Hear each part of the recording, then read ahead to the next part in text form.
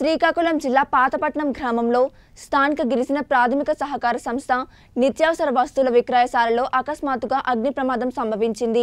సిబ్బంది పనులు ముగించుకుని తాళాలు వేసి వెళ్ళిన అనంతరం ఈ ప్రమాదం జరిగింది.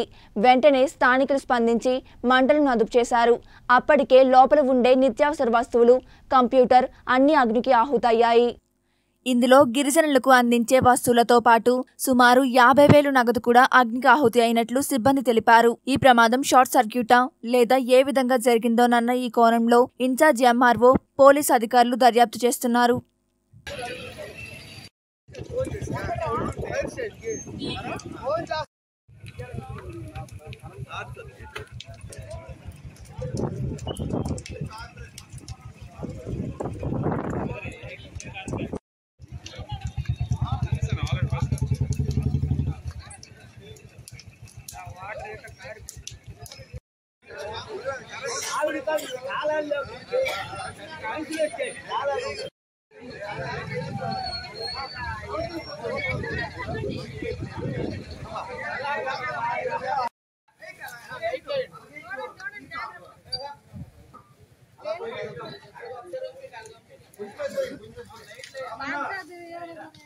ఫోన్ చేయండి రమ్మనండి.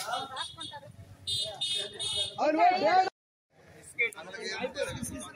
పల్లెటూరు అయితే గంటల్లో ఆగిపోతుంది